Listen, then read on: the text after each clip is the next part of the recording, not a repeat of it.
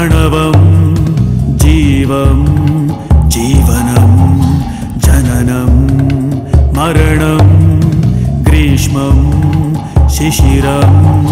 प्रणय प्रणय विलय तिमिरं रुधिरम् अधिरं करळं जटि